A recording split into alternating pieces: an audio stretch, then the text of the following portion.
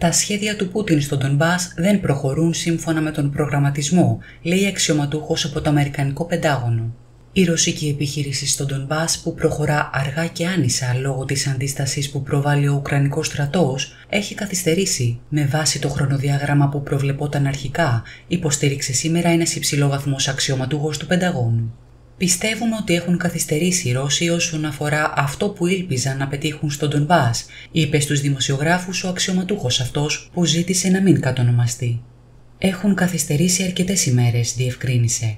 Απέχουν ακόμη πολύ από το να ενώσουν τις δυνάμεις που μπήκαν στο Ουκρανικό έδαφος από την περιοχή του Χαρκόβου στα βόρεια του Ντονμπάς, με εκείνες που ήρθαν από τα νότια.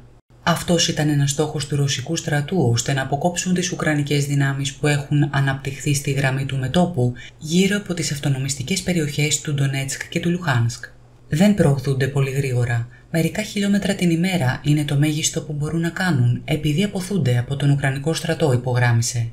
Σύμφωνα με αυτή την πηγή, οι ρωσικές δυνάμεις δεν θέλουν να κάνουν τα ίδια λάθη που έκαναν στο Κίεβο, όπου οι φάλαγγες των αρμάτων ακινητοποιήθηκαν από τις Ουκρανικές ένοπλες δυνάμεις και δεν έλαβαν επιμελητιακή υποστήριξη. Τα πυρά του πυροβολικού και τα αεροπορικά πλήγματα που εξαπολύουν στις Ουκρανικές δυνάμεις δεν είχαν το επιθυμητό αποτέλεσμα, επειδή οι Ουκρανοί εξακολουθούν να αντιστέκονται, σημείωσε. Γι' αυτό πιστεύουμε ότι η πρόθεσή τους ήταν αργή και άνηση τις τελευταίες 24 ώρες.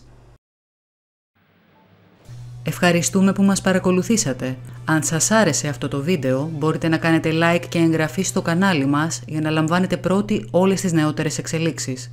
Μην ξεχνάτε να μας κάνετε σχόλια με την άποψή σας, καθώς η γνώμη σας είναι πολύ σημαντική για εμάς.